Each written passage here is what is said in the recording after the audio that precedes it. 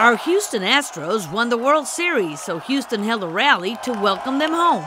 On the first Saturday immediately following the hurricane, the Astros came home. They played against the New York Mets on that Saturday. They won a doubleheader, and they have not stopped since. Boston didn't stop them. The New York Yankees didn't stop them. LA didn't stop them. And now we are here today. On behalf of the members of Houston City Council, on behalf of 2.3 million Houstonians, on behalf, on behalf of folk all in this region, Therefore, I, Sylvester Turner, Mayor of the City of Houston, hereby proclaim November 3rd, 2017 as Houston Astro Day in the city of Houston. Fans cheered and celebrated. There were signs, banners, and confetti. Lots of confetti. So I remember um, back when we got beat by New York in New York that we weren't supposed to win, right? How'd that work out? I got told before game seven apparently we didn't have a chance. How'd that work out? But I just want to thank every single person here, every person in the city, every person in the state of Texas that believed in our team.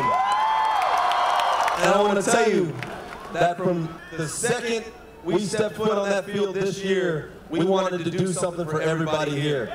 And it's about time we brought something home for the great city of Houston. So, on that mark, I want everybody to celebrate, enjoy it. Houston, we have a championship team and no one can take that away from us.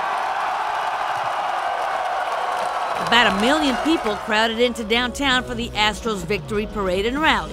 The city spread 2,000 pounds of orange, blue, and white confetti over the celebration. You might say it was a hero's welcome. Later, when the music stops and the party ends, another group of heroes makes their appearance in downtown. Barriers are carried away, and crews dismantle the bleachers.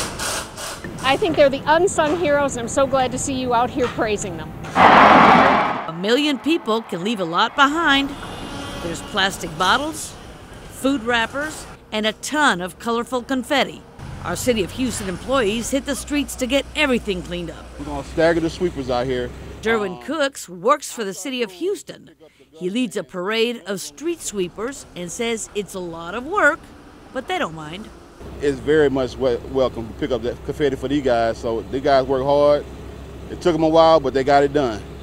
Brought that brought the trophy home to the house.